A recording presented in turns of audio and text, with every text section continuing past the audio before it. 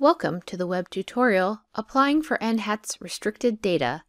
In this tutorial, you will learn how to apply for NHATS restricted data available in partnership with the Michigan Center for the Demography of Aging, or MiCDA. Note that NHATS CMS linked files require a separate application process. Instructions on how to apply for NHATS CMS files are available through the NHATS website. The MiCDA Virtual Data Enclave provides remote access to the NHATS Restricted Data Repository through a virtual desktop infrastructure. Data remain on the MiCDA Enclave servers and are accessed and analyzed by approved users virtually via an encrypted connection. Login to the Enclave requires two-factor authentication. Data files cannot enter or be removed from the NHATS repository by the researcher. Output and programs are reviewed for disclosure risk by the repository director or their designee prior to removal. For more information on minimizing disclosure risks and vetting requirements, see Minimizing Disclosure Risks when using the NHATS restricted data files in the MiCDA Enclave on the NHATS website. Users agree to access data only from locations specified in the MiCDA Data Security Plan form.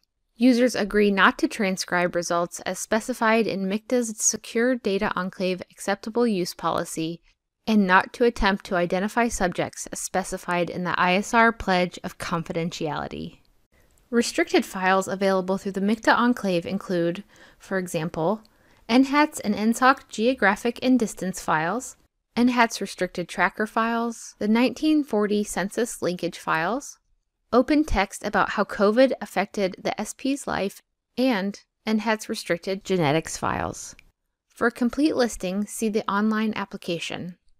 This video focuses on applying for all files in the repository except the NHATS restricted genetics files, which requires a separate application process.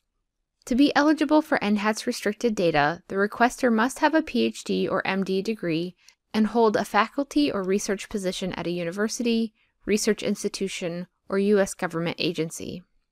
Students and postdoctoral fellows need a faculty member to sponsor their application by serving as the requesting investigator. Each application must state specific research aims and work scope to be performed. The NHATS Restricted Data Repository does not accept umbrella applications for networks, centers, or other coordinating efforts. Let's take a look at the restricted data application on the website. To access the restricted data application, navigate to the NHATS Researcher website and click on the Data Access button. Scroll down and click the Restricted Files button. This will lead you to the Restricted File page, which shows the application process for both NHATS and CMS data files. To obtain the restricted NHATS files, the focus of this tutorial, click Restricted NHATS Files. Then click the embedded link Obtaining National Health and Aging Trends Study Restricted Data from the NHATS Restricted Data Repository, which will open up a PDF of the application. Please read through the information about the forms on pages 1 through 9, then scroll to page 10 to see the documentation list. The following forms must be submitted to apply for access to NHATS restricted data. First, the investigator form. The investigator form requires the investigator's information and the information about the applicant's institution. Next, complete the Restricted Data Repository Research Plan form. This form asks for the project title and a 250 word abstract, as well as a short 2 to 3 page research plan as described in the PDF. As noted below the abstract box on the form, each applicant must also submit the CV or bio sketch for the investigator and co investigators, a copy of an award letter documenting research funds and the source of these funds, and a copy of IRB approval at the full or expedited level. Next, complete the Restricted Data Repository File request form. Requesters should check off all files that are being requested. To access additional folders through the MiCDA Geographic Linkages Repository, or GLR, requesters must justify these files in their research plan. By requesting to use data deposited with GLR, users are agreeing to cite any GLR data sources used in their publications and presentations. For any additional external files the user plans to bring into the enclave, requesters need to describe the files in the Restricted Data Repository External File Request form.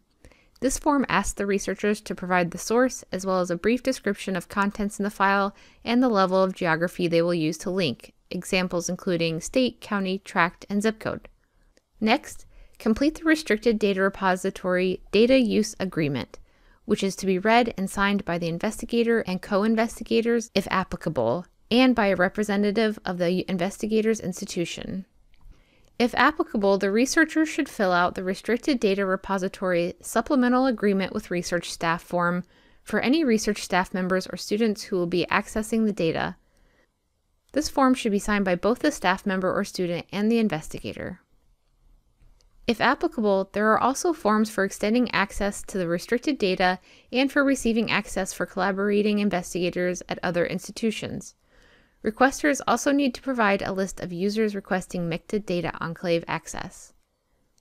In addition to the request forms, each user will need to read and sign the Acceptable Use Policy, or AUP, and the Pledge to Safeguard Respondent Confidentiality. Each user must also complete a data security plan for each location where they plan to access the restricted data. Most users opt to fill out one data security plan for their office and another for home. All forms should then be submitted electronically to NHATS restricted data at umich.edu using the subject heading Restricted Data Application requesting investigator's name. Each application will be reviewed by NHATS staff. Following notice of approval, a countersigned DUA will be provided and access will be granted to the MiCDA Virtual Data Enclave. This tutorial was produced by Min Hu, Sarah Patterson, Maureen Skehan, and Vicki Freedman with funding from the National Institute on Aging. This ends the Applying for Restricted Data web tutorial. Comments and questions may be sent to nhatsdata at westat.com.